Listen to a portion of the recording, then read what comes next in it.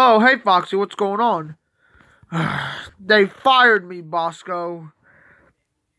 Yeah, apparently they've been auditioning with placements behind my back. Oh, I- I'm shocked. Those stupid Warner Brothers geeks. I mean, you were part of the show. Yeah, while they slapped my cartoons on every theater in America, now they're hiring themselves some piggy boy and tossing me aside like a dirty fox. Ah.